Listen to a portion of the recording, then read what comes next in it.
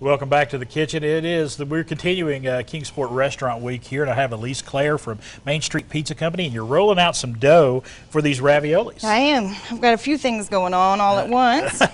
so I'm showing you the process on getting the raviolis Okay. laid out, and then you can mark them out with pretty much anything that's handy in your kitchen. I just have this nice little circle Gotcha. to mark those, and we're going to start stuffing them with this lovely farmer's cheese.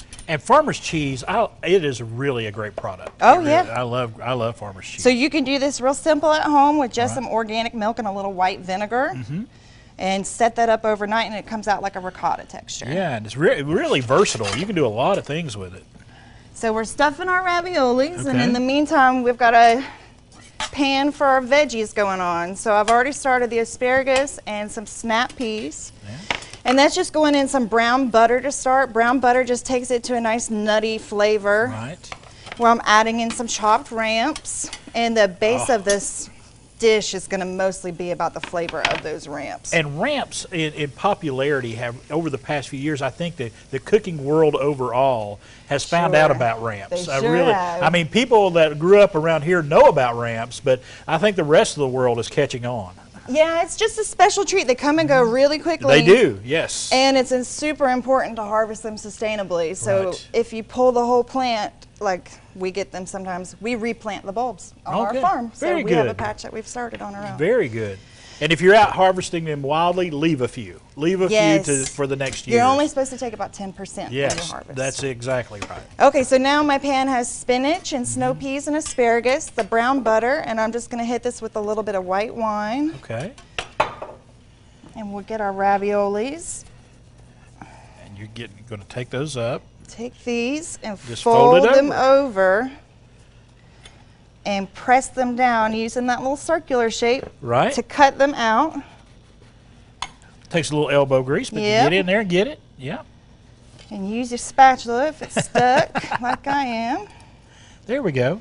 And you just want to make sure you seal up all the edges so that Mm-hmm. it does not fall apart in the boil. Right.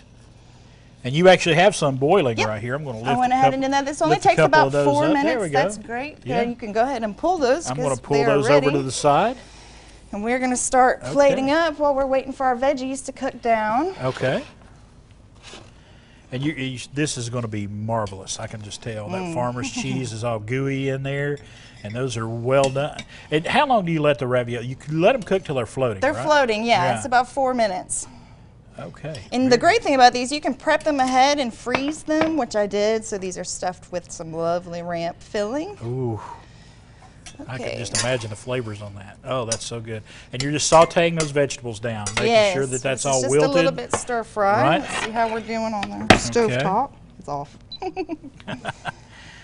And so you're going to let those cook. Mm-hmm. And once they cook, talk to me about you add some salt and pepper here. Yes. Just want to make sure you get it seasoned to taste. Yes, you've got it. So while this is cooking, I would love to tell you about some of the veggies that we brought today are a representation of our Right, because you brought 'em from your farm. Yes. Yes, so not just our farm, but other farms in the area. Right. Not just veggies, but we do all kinds of baked goods and pastas and even a meat share. So you can Oh, get your chicken and your beef all local, grass fed. Uh, organic when we can, or non-certified organic when we can. So it's a conglomeration of local products, whether we grew it or it's from another local farm. And you can go online and get your own at www.startthefarm.com. startthefarm.com. Hey, folks, we're going to come back here. We're going to end up the show here in the kitchen. We're going to show you this finished product, but it is Main Street Pizza Company. It is mainstreetpizzacompany.com for more information. They're located right there in downtown Kingston.